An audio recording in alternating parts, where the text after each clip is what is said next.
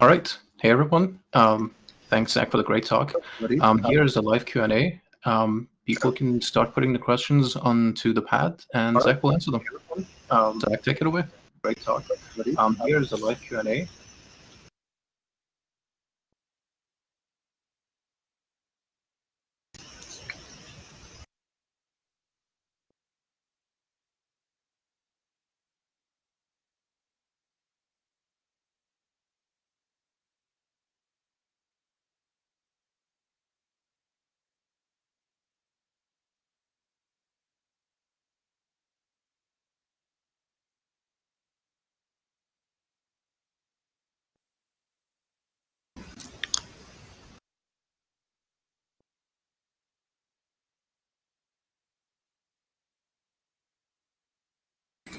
Okay, so first question.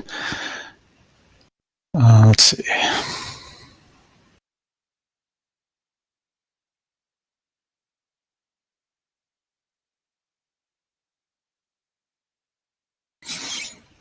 Okay, so the first question is why did you why did you choose an internal state versus many state buffers?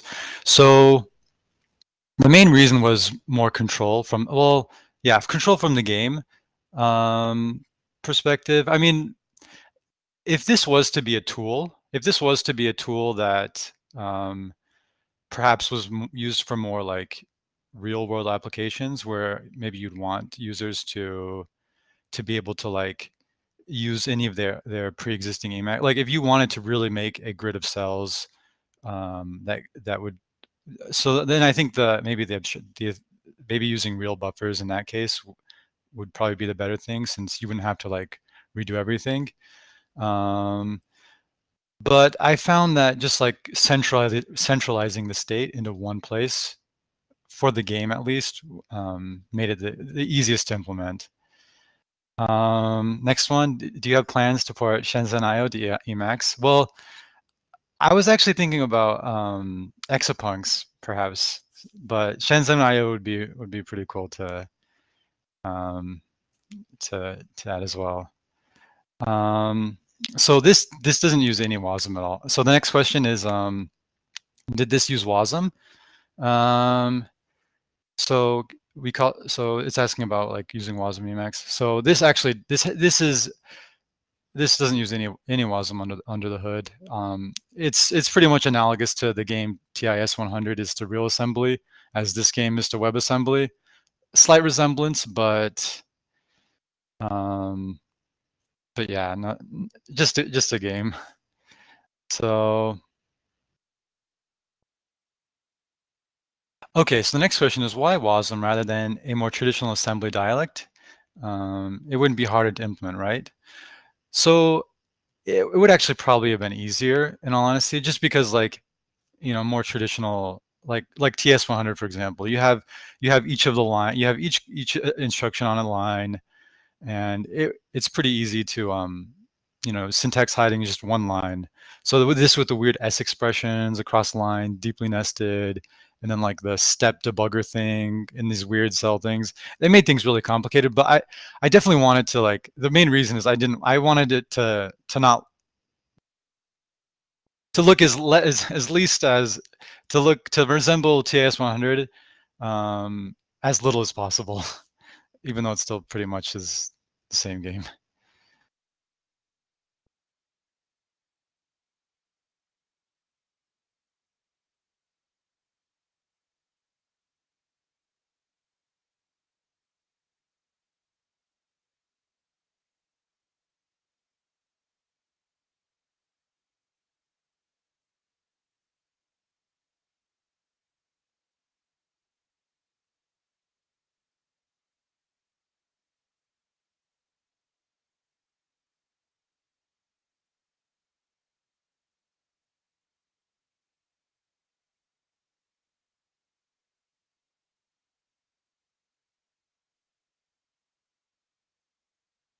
Thanks, Zach. I think we still have about like um, eight minutes or so, or eight, or eight and a half minutes of Q&A time. So folks, if you do have any other questions, please do keep them coming in the pad. And uh, yeah, Zach will continue answering them.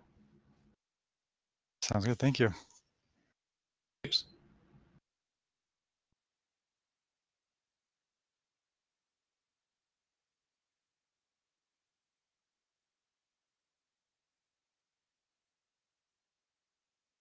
So next question, any next projects on your mind?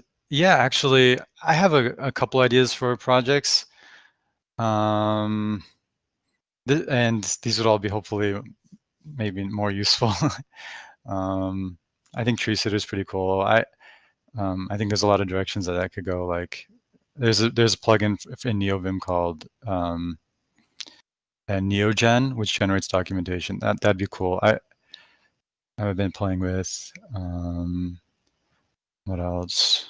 Yeah, I mean, hopefully next next year at next next Emacs conference, I, I'll I could be presenting something more more useful. Next question, does this work with any other paren-based editing packages? Not at all. Not at all. In fact, um, just because of the way the buffer was set up, how it's it's just like the illusion of a buffer, like not not not even like the the, the syntax parsing works correctly because um, just because everything's like the the way the grids are set up, like you have like the the other cells kind of interfering with the, the way that parses. Um, but the way it was architected, um, it's it's actually a really simple macro. There's a little macro called like run in buffer. So it's like you run them, you have like run in buffer, and then you put your elisp code, and then it tries to create the illusion that it's actually running in a real buffer. So this macro kind of does all the configuration setup. So um, so, I mean, maybe with like more configuration settings, maybe something like that could have been done. So next question, what kind of tool could you use this idea? Oh, going back to the, um, oh, going back to next projects on your mind. This actually came up to my mind as like a graphical, so like there's, so um, in, in terms of like um, uh, there's there's a lot of graph graph graphing tools like ASCII. So like you know you you type in some text text representation, it generates an ASCII document. I think it'd be really cool to have like um, an Emacs package that sort of works like those online really slick um, graph graph drawing tools. So like you can just press tab and it draws a new a new box with a little with an ASCII arrow, and then like it it can create these these diagrams really easy. I think that would be a really cool project. Um, and so something like that, obviously, like you have different cells, and so that's actually another thing I think would be cool to to work on. So designing puzzles. So um, it's funny um, if you if you listen to Zach Barth's talk about uh, TIS 100, he goes into like you pretty just like you pretty just you pretty just it's just like you make up a puzzle you think could work, and chances are it does end up working and that's how I wrote at least my pu custom puzzles um, in the game. Just like come up with some random idea, think it, it probably should work, impl- and then try to go implementing it. And usually it, it it's it's implementable. I mean, four by three blocks uh, boxes can you can do quite a bit. And I don't put any restrictions on the cells like TIS-100. Um, what are your favorite changes in upcoming Emacs 29? So definitely Tree Sitter is is pretty cool.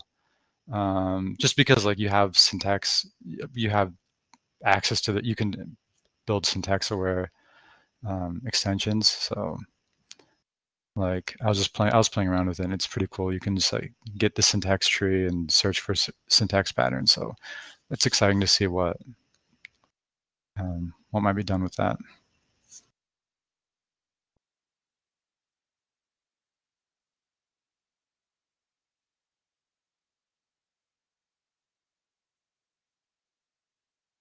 Are there tools to add more puzzles?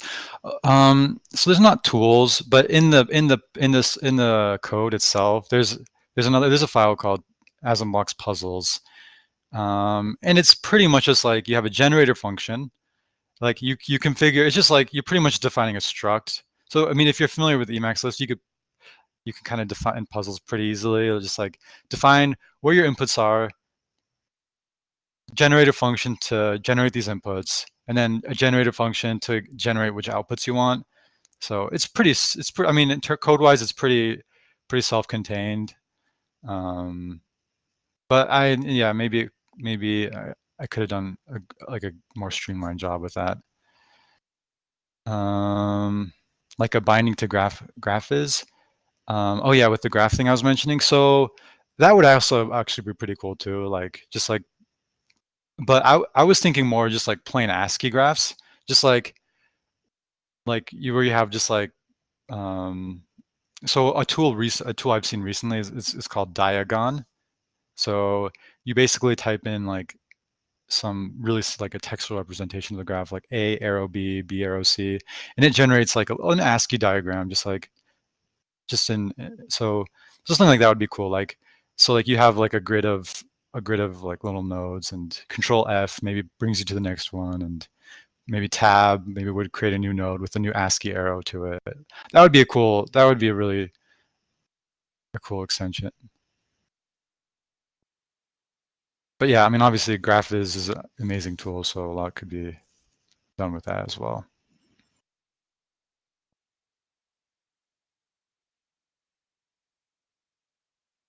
I think we have about like a minute or minute and a half of live questions. Um, we are opening the Q&A, um, this BB room uh, for people to join. So folks who want to do that um, are welcome to do so. Um, and um, yeah, after that, the stream will move on, but you can still come in this BB room or keep asking questions on the pad.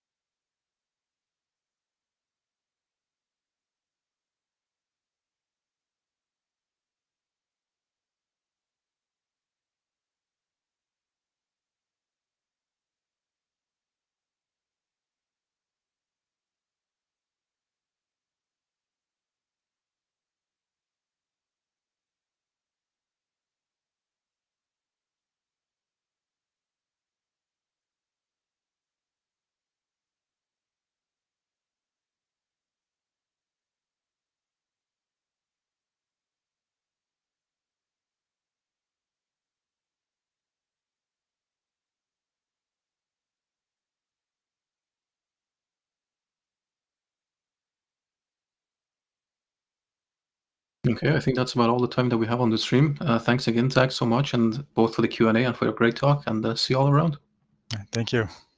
Cheers.